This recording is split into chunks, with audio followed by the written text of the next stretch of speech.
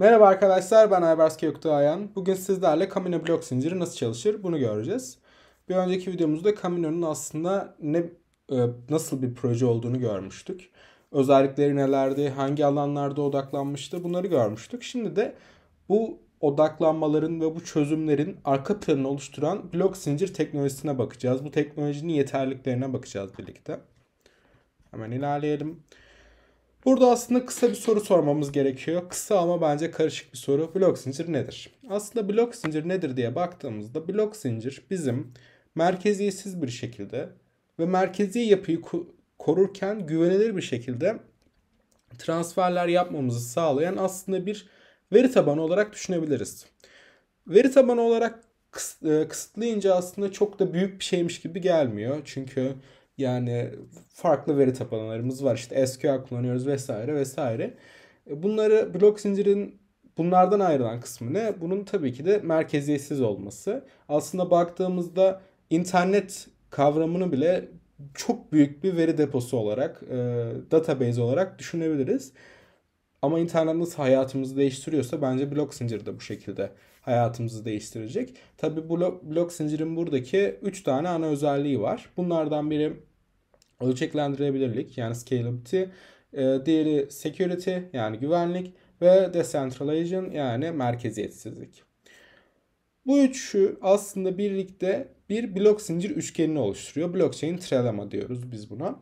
Ve şu ana kadar gördüğümüz tüm blok zinciri projeleri bu üçgenin içerisinde belirli yerlere sahip.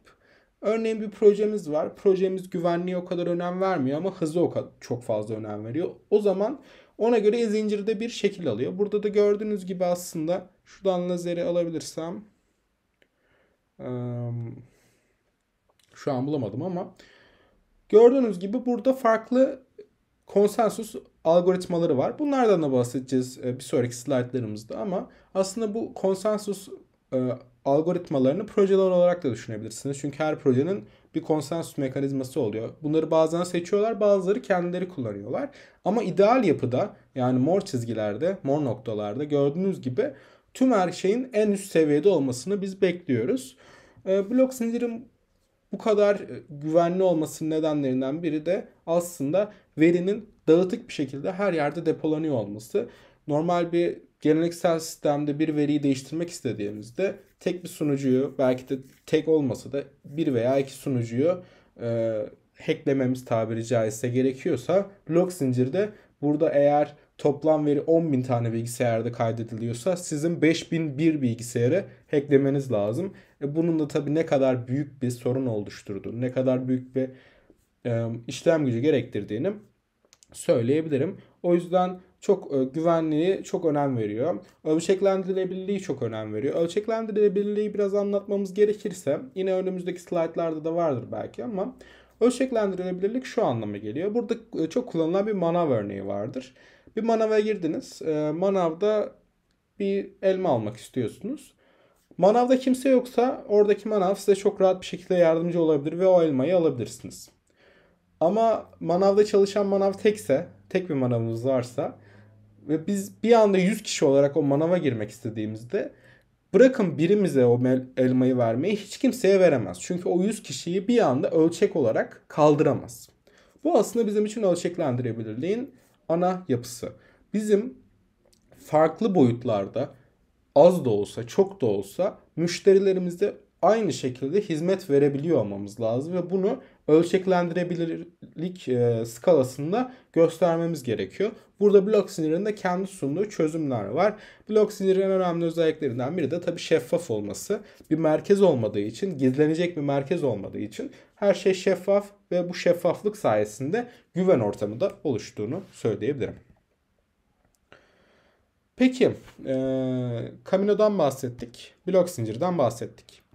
Peki Camino neden blok zinciri kullanıyor? İkisini farklı farklı inceledik ama Camino'nun blok zinciri kullanmasındaki ana amaç ne diye baktığımızda blok zincirin aslında özelliklerinin turizm sektöründeki bazı sorunları çok güzel çözümler olduğunu görebiliriz.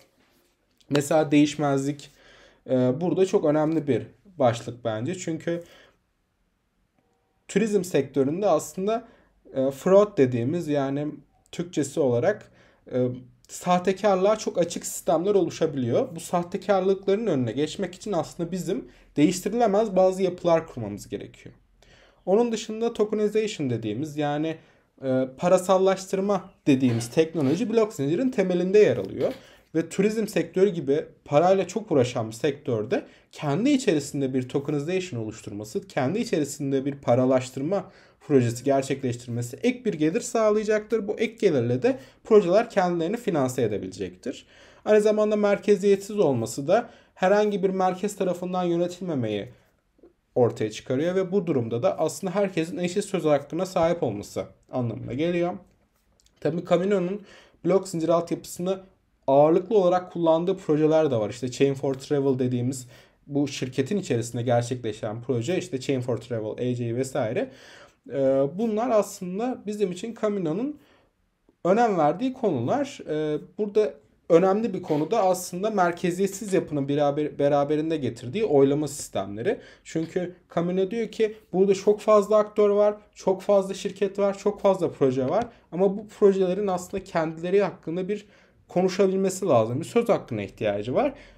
Mevcut sistemlerde birazcık e, Web2 sistemleri de diyebiliriz bunlara. Parası olan konuşur gibi bir yapı var işte. Ama şu anda blok zincirle bu herkesin eşit söz hakkına sahip olduğu sistemlerle değiştirilmeyi amaçlıyor.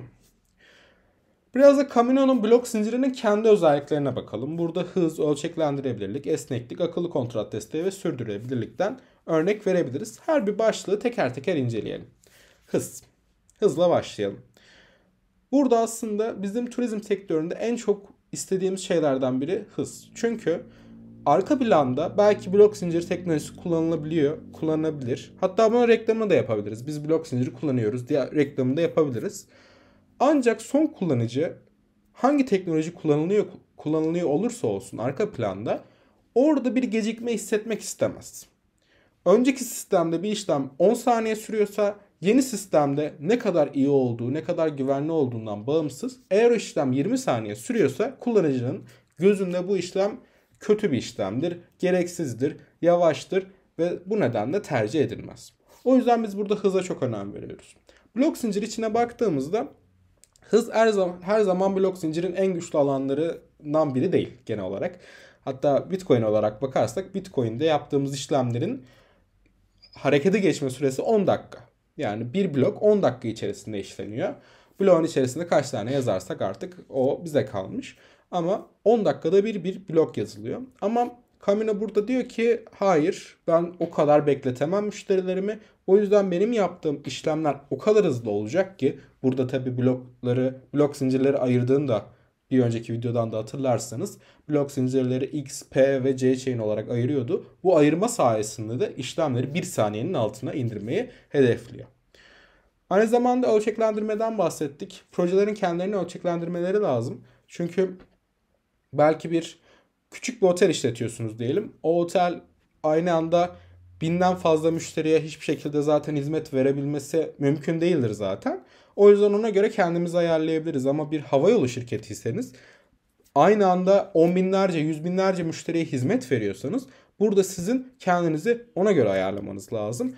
Burada da Camino'nun subnet desteği işin içine giriyor. Subnetlerden kısaca bahsedersek ana ana zincirin altında oluşmuş kendi ihtiyaçlarına özel subnetler var. Bir proje gelip kendi zincirini oluşturabiliyor. Bu zincirin güvenliği de Camino'nun ana ağı tarafından sağlanıyor. Teknolojiler de Camino'nun ana ağı tarafından sağlanıyor. Ve bu şekilde aslında biz hızlı bir şekilde kendimizi sıfırdan bir blok zinciri oluşturmak zorunda kalmadan ifade edebiliyoruz. Kendi istediklerimizi de ekleyebiliyoruz. Ve kendimize göre ölçeklendirebiliyoruz. Bu da bence çok önemli bir özellik. Burada esneklikten de bahsedebiliriz aynı zamanda. Esneklik çok önemli bir başlık çünkü dediğim gibi herkesin kendi ihtiyaçları var. Her projenin kendi ihtiyaçları var. Bir turizm projesiyle e, bir otel projesi her zaman aynı bağlamda incelenebiliyor olabilir. Burada da aslında bizim yine subnet desteğiyle kendi zincirimizi oluşturmamız çok önemli. Camino'nun altyapısının izin verdiği özelliklerden biri de herkesin kendi zincirini oluşturma imkanına sahip olması, bu zincirlerin her birinin kendi özelliklerine sahip olması. Bir diğer çok önemli özellik de bence akıllı kontrat desteği. Akıllı kontratlar blok zincir üzerinde çalışan kodlar. Blok zincirin işte değiştirilemez olmasını, işlem ücretlerini vesaire kullanarak bir yapı ortaya çıkıyor. Çok güvenli bir yapı. Evet ama günümüzde akıllı kontratlara baktığımızda burada farklı yaklaşımlar olduğunu görebiliriz. Bazı zincirler diyor ki ben C++ ile yazacağım. Bazıları diyor ki ben Rust'ın e, WebAssembly dilini kullanarak yazacağım vesaire. Ama ortak bir söz olamıyor genelde burada. Eğer burada Camino'da çıksaydı deseydi ki ben bu altyapıyı kullanıyorum. Ben burada bir sürü proje yapıyorum ama ben kendi dilimi getirdim. Bu dil üzerinde çalışacak herkes. Bu bazı açılardan iyi olabilirdi. Ne olabilirdi? Biraz kendimize göre şekillendirebileceğimiz bir dil olabilirdi o yazılım dili akıllı kontrat geliştirmek için. Ama aynı zamanda bu da bizim karşımıza bir öğrenme eğrisi getirirdi. Ve bu öğrenme eğrisinin yanı sıra o dilin dokümantasyonunun oluşturulmuş olması gerekirdi ve bu dokümantasyonun zamanla güncellenmesi gerekirdi. İnsanların öğrenebilecekleri yapılar gerekirdi ve bu zaten başlı başına bir sıkıntı olurdu. Ama Camino diyor ki ben Solidity'yi getiriyorum, EVM'i getiriyorum, Ethereum uyumluluğu getiriyorum ve bunu yaptığım kontrat zincirimde C-Chain'de sen akıllı kontratlarını Solidity ile yazdığın akıllı kontratları gelip çalıştırabilirsin. Bu aslında çok özel bir özellik bence. Çünkü diyor ki sen Solidity biliyorsan ki Solidity şu anda yani galiba böyle söyleyebilirim. En popüler blok zincir akıllı kontrat dili olduğunu söyleyebilirim. En popüler dili biliyorsan, bu dilde projeler geliştiriyorsan, o projeleri gerçekleştirirken dokümantasyonu zaten kullanmışsan veya mevcut olan tonlarca dokümanı kullanmaya hazırsan sen sadece gelip benim yaptığım projeyi benim sistemime entegre edebilirsin. Burada aslında öğrenme eğrisini çok büyük açıda kırdığını söyleyebilirim. Ve aslında internet üzerinde bulunan çok büyük sayılardaki dokümantasyonu da öğrenme materyallerinde kullandığını söyleyebilirim. O yüzden bence çok önemli.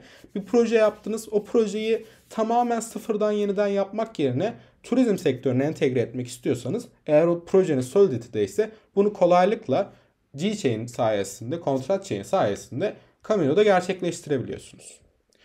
Sürdürülebilirlikten biraz bahsedelim. Blok zincir projelerinden son zamanlarda belki haberleri duymuşsunuzdur. İşte e, bunu Elon Musk yaptı ama yakın zamanda çok yakın olmasa da e, blok zinciri aslında şu anda ne diye suçluyorlar? Blok zinciri çok elektrik e, harcıyor, gezegenimizi kirletiyor. İşte Amerika'dan daha fazla elektrik üretecek ileride vesaire diye bir pardon farklı ülkelerden daha fazla elektrik tüketecek diye bazı haberler çıkıyor. Bunlar bazı noktalara kadar doğru olsa da Camino diyor ki ben bu şekilde sürdürülebilir bir proje yapamam. Çünkü büyük bir sıkıntı aslında.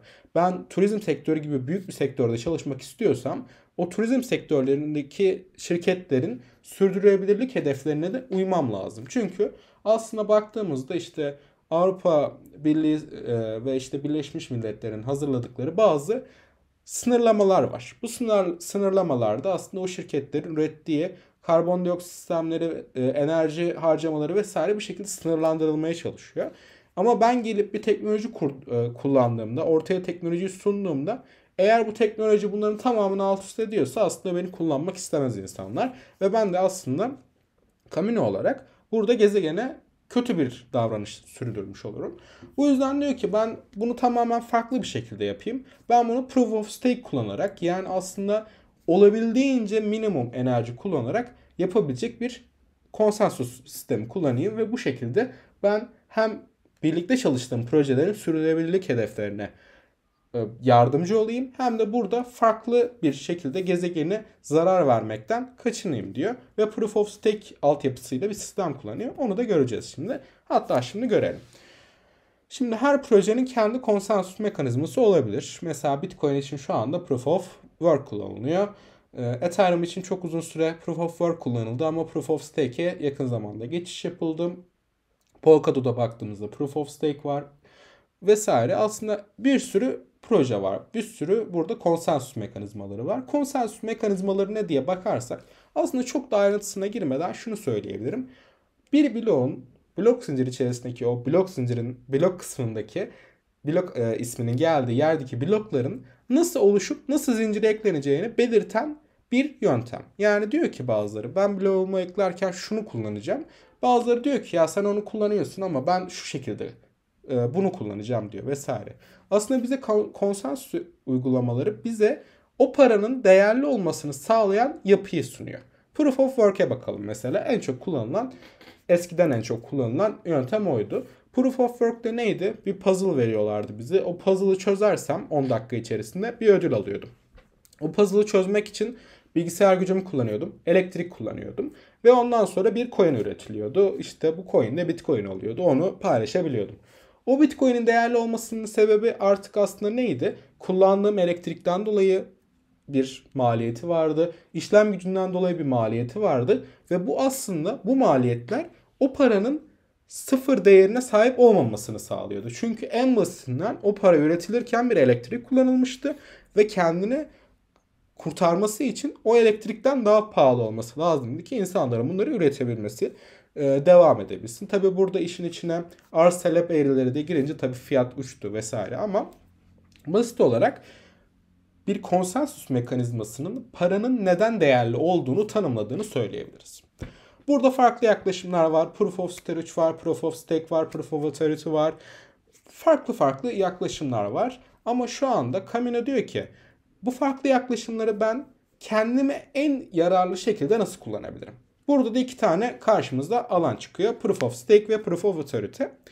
Önce Proof of Stake'e bakalım. Proof of Stake katılımcıların sahip oldukları kripto paraların miktarına göre yeni blok oluşturma ve işlem onaylama hakkı kazandığı bir konsensus algoritmasıdır. Yani Proof of Stake'de senin elinde bir para varsa, bir kripto para varsa o kripto parayı kullanarak daha fazla para üretebiliyorsun. Aslında bunu vadeli hizmet gibi de düşünebilirsiniz. Çok birebir aynısı olmasa da nasıl vadeli paramızı e, o banka hesabına kilitledikten sonra dokunmayacağımızın sözünü veriyorsak o paramız artıyorsa Proof of Stake'de de belirli miktarda paramızı kilitlediğimizde ve o paraya belirli süre dokunmadığımızda paramız üzerinden bir para oluşturma mekanizması gerçekleşiyor ve burada e, yeni coinler ortaya çıkıyor ve bu coinlerin bir kısmını biz ödül olarak alıyoruz. Burada tabi işlem onaylama hakkı da aynı şekilde farklı bir coin ürettiğinde de o coin'i bizim onaylamamız gerekiyor. Peki Proof of Stake'in bizim için faydalı olan kısmı ne? Burada tabii şunu söyleyebiliriz. Hız ve gelir sağlamada kolaylık bizim için en temel özellikler olduğunu söyleyebilirim. Çünkü burada yapan bilgisayarlar güçlü bilgisayar olmak zorunda değil. Burada biz aslında bir puzzle çözüp o büyük bir puzzle en azından çok karmaşık bir puzzle çözüp o karmaşık puzzle'ı çözdüğümüz için bir şey kazanmıyoruz. Biz burada kripto paramız üzerinden o paraya dokunmamamız üzerinden bir gelir sağlıyoruz. Bu yüzden bu işlemleri telefonumuzdan da yapabiliriz, bilgisayarımızdan da yapabiliriz, küçük biraz veri paydan da yapabiliriz. Aslında burada işlem gücünü azalttığı için hızımız artıyor ve aynı zamanda gelir üzerinden gelir üretildiği için daha fazla gelir, daha fazla gelire yine olanak sağlayacağı için gelir sağlamada kolaylık ortaya çıkıyor. Proof of Authority'ye baktığımızda Proof of Authority aslında belirli yetkilendirilmiş düğümlerin yani kim olduğu, ne olduğu belli olan burada gizliliği birazcık azaltıyoruz ama bundan da değiniriz ileride. Proof of Authority de burada yetkilenmiş yetkilendirilmiş düğümlerin onaylı ve yeni blok oluşturma hakkına sahip olduğu bir algoritmadır. Burada aslında biz ne yapıyoruz? Diyoruz ki tamam sen senin kim olduğunu biliyorum. Sen gelip benim ağımda para üretmeye başlayabilirsin. Aslında biz oradaki karşı projeye o zincir üzerinde bir şey üretme hakkı veriyoruz. Bu hakkın üzerinden de onlar para kazanıyor. Tabi burada neler ortaya çıkıyor? Yüksek güven ortaya çıkıyor. Çünkü ben başka algoritmalarda mesela Proof of Work'te şöyle bir şey var. O düğümün kim olduğunu ben bilmek zorunda değilim. Yani orada bir birisi Bitcoin kazanmış ama onu kim, o nereden geldi, nasıl kazandı ben bunu bilmiyorum. Şimdi bu aslında iyi bir şeymiş gibi gözüküyor olabilir. Bazı açılardan da iyi bir şey ama Camino diyor ki ya ben turizm sektöründeyim. Kimin ne olduğu belli olması lazım ki ortak bir yapı oluşturabilirim. Anonimlik zaten o kadar önemli değil benim için. O yüzden diyor ki Proof of Authority'nin bu özelliği benim için kullanışlı. Burada herkese güvenebilirim çünkü herkesin kim olduğunu biliyorum.